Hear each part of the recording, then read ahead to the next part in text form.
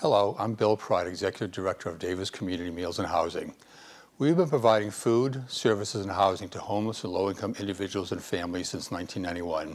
This includes hot, nutritious meals three times a week, transitional housing for both individuals and families, a resource center to help them remain safe and stable, an outreach program for the most vulnerable in our community, and permanent supportive housing at Cesar Chavez Plaza to those with special needs. In the past several years, we've opened new pathways to transitional housing for the chronically homeless, an employment program, Pathways to Employment, and opening another permanent supportive housing program, Creekside, by 2020. We are in the planning stages of totally renovating our facility at 1111 8th Street into Paul's Place, a resource center and housing program. We could not have provided these programs and services for the past 28 years without your support.